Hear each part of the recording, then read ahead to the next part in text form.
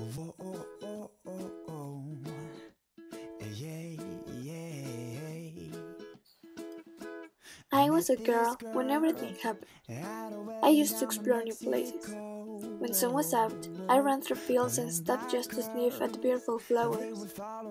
I liked to stay outside until dusk was falling down. I walked toward the opposite side of my home.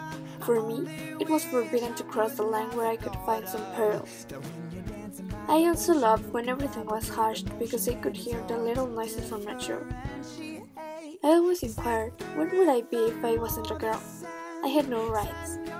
One day, lost in my thoughts, I crossed the line.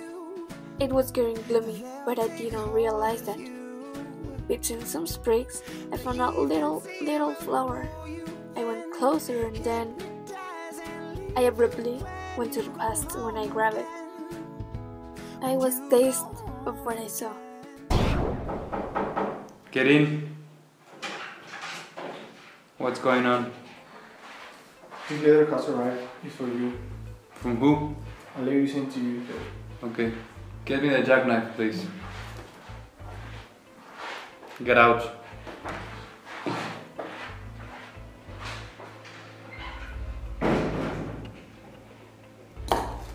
From who this letter would be?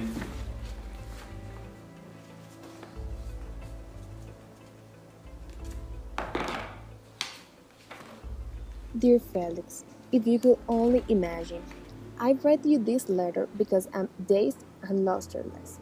I understand what it implies delivering this at your house, but I am tarnished. I was gambling and abruptly lost everything I had. Don't let me continue this way, begging people to fling pesos at me, and I stink with these soaking clothes and sandals because I have been wiping cars. I'm at the edge, not only because I'm homeless, but I have no one on which to trust. I wish I could have at least a bunk, a quilt, and a mitten, but I am sleeping on the floor of a shanty on these cold nights of November. My legs and arms are numb and without sensation. I was wondering if you could help me in any way. I really need money, at least to gain back my stability. I have lost everything. Please don't leave me alone under these dreadful and treacherous circumstances. I need you more than ever. Sorry for this gloomy letter. I see you at the bar at 11 o'clock. I will be cheerful to see you. With love.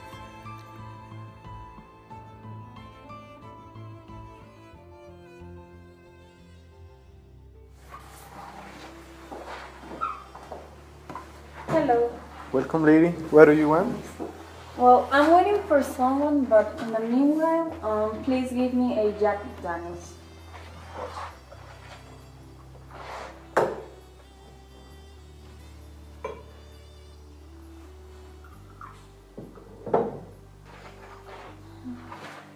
Here is your drink. Thanks.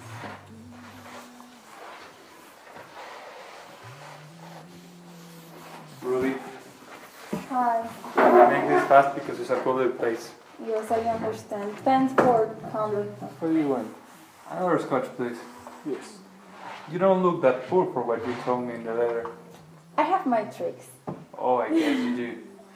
Yeah. So, what are we going to do? Well, I have a lot of bills to pay, and right now, I mean, Sorry. Uh, here is your drink, sir. Thank you. So, I have no money for paying this, and I know that I'm asking you to do something risky, and that will imply having troubles with your wife. what you told me, I even have trouble right now. No, I know, but I mean, I need money, and I don't know how would you explain to your wife if, if there's something missing. But Well, I don't care. Who earned the money? I work for that. She just spent it. So I bring it something that is from my family. My father gave it to me. It's something Wow. very expensive, but you can afford everything you have. but I mean, I guess that I don't care. Take it. You will pay everything you have to pay. But is that I mean, It's enough for you. yes, but your wife. I don't care about my wife. I don't love her anymore. So use it How how much do you think this is worth? I don't know, but I, I know that you will, you will pay your bills with that. Just with that. So don't worry. How to thank you for this. So I have to leave you right now. I I hope I will see you later. Bye.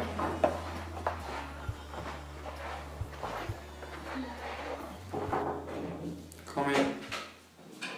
What's going on? Family relic has disappeared. That couldn't be true. Has disappeared? I, I, I couldn't find it today.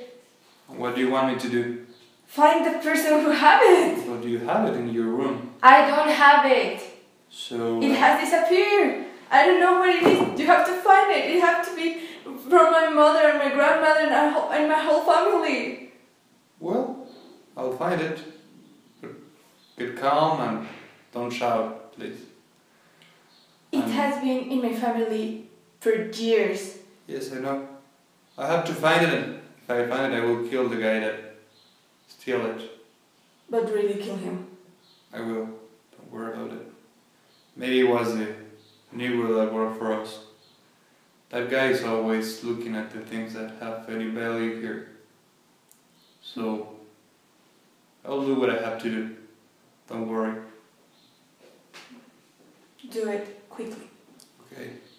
And get calm, please. Because if you shout to me, I will kill you first. Okay? Okay. Get up, please. I am tired of working so hard that my hands bleed as well from pain. As I walk from my home to my place of work, I see the same people every day, also suffering in the heat of the sun, and the journey becomes a martyr. Make thought that I have to deal with the abuse and humiliation of the masters makes the day un- unbearable. At the least but not least, the little salary that I have is rubbish. The work hours are long, with physical fatigue that increases day by day. It comes to a point that I have trouble to speak. What bothers me is discrimination, that for simply by being born black. Have no right to have a decent job or even life.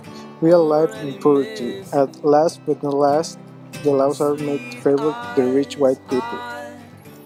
I have reached the point where I fear the future that against my family. I think of the torture they will suffer, the same abuse and humiliation that I have, if not worse. This is not the way to treat a human being. I am very disillusioned and disgusting with life. I don't know why we are living this hell.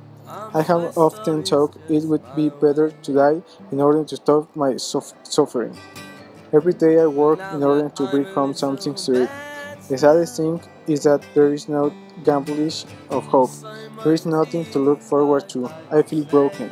I have no choice but to continue working and keep suffering the abuse and humiliation that I have been born into.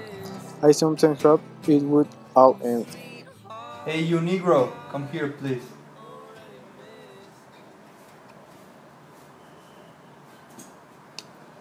Yes, sir. Someone told me that you steal something from me. What? I don't know what are you talking about. Something very expensive from my family. I don't know, sir. I don't take anything of you. Are you sure? Yes. No, I don't believe you. I'm a And if you don't accept it, I will kill you right now. What?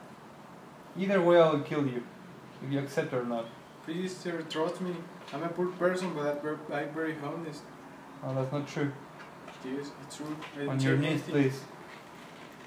Ask me for, for forgiveness. And accept that.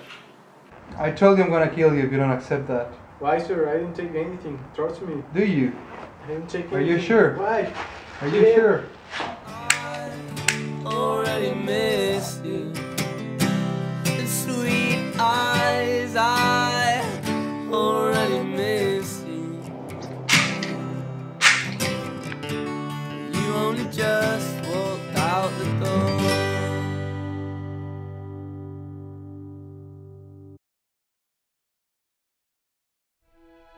I still remember what happened that day.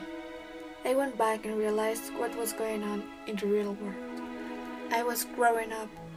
Today, I can tell this by my own, and I'm thankful for not having the same life that most of the poor people did and still do.